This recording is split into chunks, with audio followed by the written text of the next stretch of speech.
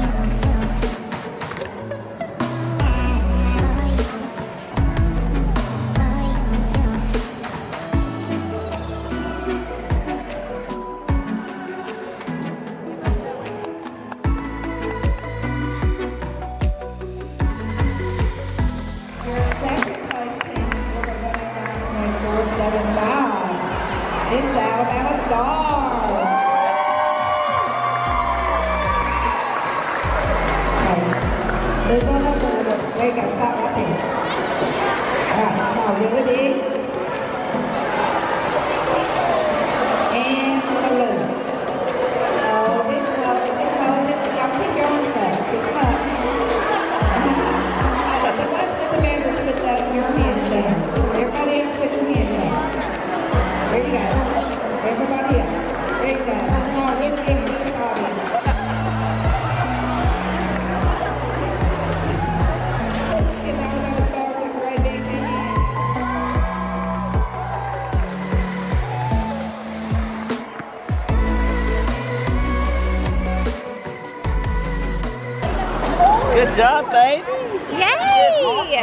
How many you get?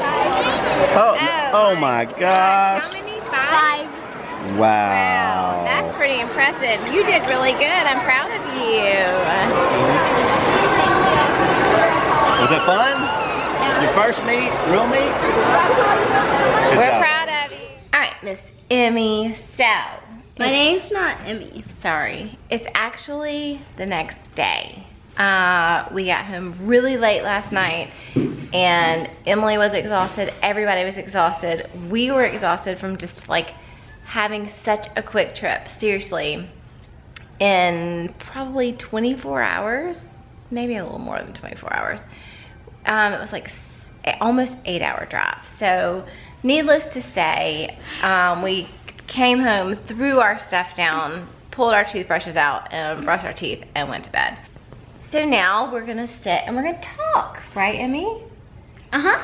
Yes. All right, you did amazing by the way. We were sitting here um, this afternoon, I was editing and I was showing her, I was letting her look back and see um, all of her routines and we were talking about things that she did perfect and we were talking about things that we could fix. And honestly, if you ask me, now I might be a little biased, okay? But I think that the lady that judged you on the floor was Was a little bit like, what is the word, strict? Is that the yeah. I'm looking for? Like Yeah.